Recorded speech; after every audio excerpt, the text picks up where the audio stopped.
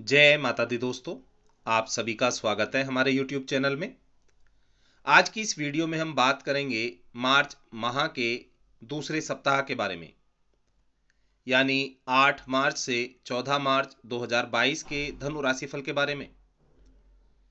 धनु राशि के लोगों के लिए मार्च का यह सप्ताह कैसा रहेगा? इस सप्ताह में कौन ग्रह कहाँ स्थित होगा और आपकी राशि पर कैसा प्रभाव डालेगा? ग्रहों के प्रभाव से आपके व्यापार, व्यवसाय, नौकरी, शिक्षा, स्वास्थ्य, पारिवारिक जीवन, प्रेम जीवन और दाम्पत्य जीवन पर क्या असर पड़ेगा? जानेंगे सभी बातों के बारे में। दोस्तों, आगे बढ़ें। इससे पहले आपसे निवेदन है, हमारे YouTube चैनल को सब्सक्राइब कर दें, बेल आइकन को प्रेस कर दें और जुड़ जाएँ हमारे चैनल के साथ। बात करें सबसे पहले इस सप्ताह में ग्रहों की स्थिति क्या होगी? तो मंगलदेव पूरे सप्ताह आपके द्वितीय भाव में विराजमान होंगे। और मंगल देव के साथ साथ यहाँ शुक्रदेव और शनिदेव भी आपके द्वितीय भाव में विराजमान होंगे।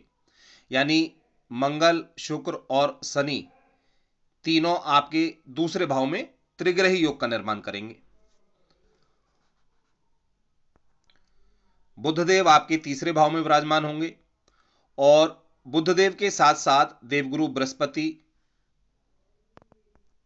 और सूर्यदेव आपके तीसरे भाव में विराजमान होंगे। यानी आपके तृतीय भाव में तीन ग्रह बुद्ध सूर्य और गुरु मिलकर त्रिग्रही योग का निर्माण करेंगे।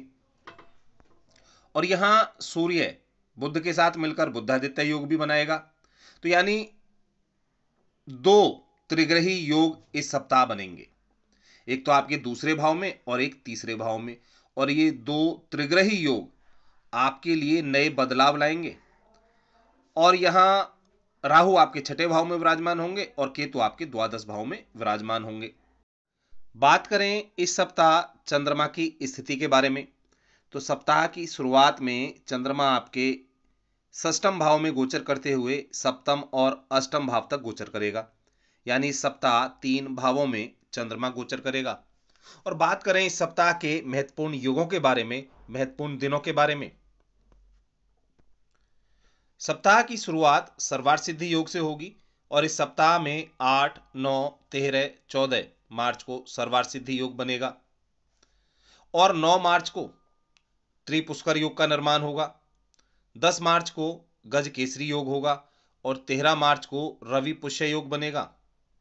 इस सप्ताह महत्वपूर्ण योगों का निर्माण होगा और 10 मार्च को दुर्गाष्टमी व्रत होगा, यानी होलाष्टक प्रारंभ हो जाएँगे। और सप्ताह के अंत में 14 मार्च को आमलकी एकादशी, यानी रंग भरी एकादशी होगी, जो कि भगवान विष्णु को समर्पित होती है। पेशेवर लोगों के लिए, व्यापार, व्यवसाय करने वाले लोगों के लिए यह सप्ताह परेशानियों से छुटकारा दिलाने वाला होगा। आपके कार्य क्षेत्र में जो भी परेशानियाँ, जो भी समस्याएँ हैं, वो खत्म होंगी और अप्रत्याशित लाभ की प्राप्ति होगी। आपने ऐसा सोचा भी नहीं होगा, इतना आपको लाभ इस दौरान प्राप्त होगा। और इस सप्ताह में स्वास्थ्य बहुत अच्छा होगा, क्योंकि कई ग्रहों की शुभ दृष्टि आपकी सेहत को मजबूती देगी। साथ ही आपको पुरानी चली आ रही बीमारियों से भी निजात मिलेगी। इस सप्ताह आपका मन खुश मिजाज रहने के योग बनेंगे। संभव है आपके माता पिता या आपका साथी किसी ज़रूरी काम के लिए इस सप्ताह आपसे पैसे मांग सकता है, जिसके चलते आपको उन्हें पैसे देने भी पड़ेंगे, लेकिन इससे आपके आर्थिक हालात खराब होने की संभावना बढ़ जाएगी। इस सप्ताह आपकी अपेक्षा से ज़्यादा आपको अपने बड़े भाई बहन का सहयोग मिलेगा, जिसके कारण आप अपनी किसी बड़ी मुसीबत से निकलने में सफल होंगे। हालाँकि इसके लिए आपको बिना संकोच उनके सामने अपनी परेशानियों को व्यक्त करने की आवश्यकता होगी। कैरियर और पेशे के लिहाज से आपको इस सप्ताह अपने तनाव और जीवन में आ रहे उतार चढ़ाव से निजात मिलेगी, क्योंकि ये समय आपके जीवन में कुछ ऐसे अच्छे बदलाव और अप्रत्याशित घटना लेकर आने वाला है, जिसका आप काफ़ी समय से इंतज़ार कर रहे थे। यदि आप घर से रहकर दूर पढ़ाई कर रहे हैं तो इस सप्ताह छात्र अपनी पढ़ाई में अच्छा प्रदर्शन करेंगे, लेकिन बीच बीच में घर वालों की याद कुछ रुकावटें पैदा कर सकती है। इसलिए आपको स्वयं को अपनी उच्चतम सीमा तक मेहनत करने के लिए तैयार रहना होगा। इसके लिए आप अपने घर वालों से फ़ोन पर बात करके अपनी व्याकुलता को शांत कर सकते हैं। इस राशि के जो लोग अविवाहित हैं, उनके विवाह के प्रस्ताव आने की संभावना रहेगी और बेरोजगार लोगों को रोज़गार के नए अवसर प्राप्त होंगे। और आपके लिए कुछ नए बदलाव इस सप्ताह देखने को मिलेंगे। जो आपके जीवन में खुशहाली लाएगी। और बुद्धादित्य योग छात्रों के लिए भी, व्यापार व्यवसायियों के लिए भी और नौकरी पेशेवर लोगों के लिए भी शुभ फलदायी साबित होगा। इस दौरान किया गया निवेश भी आपको अच्छा फ़ायदा देगा। और इस सप्ताह में तेरह मार्च का दिन प्रेमियों के लिए बहुत शुभ साबित होगा। और बिज़नेस करने वाले लोगों के लिए पूरा ही सप्ताह। शुभ रहेगा। इस दौरान 11 और 12 मार्च को आपको थोड़ा केयरफुल रहना होगा। आपके विरोधी या आपके शत्रु इस दौरान सक्रिय होंगे तो उनसे थोड़ी सी सावधानी रखनी होगी। गुस्से पर काबू रखना होगा। यदि आप वाहन चला रहे हैं तो वाहन चलाते समय थोड़ी सावधानी रखेंगे।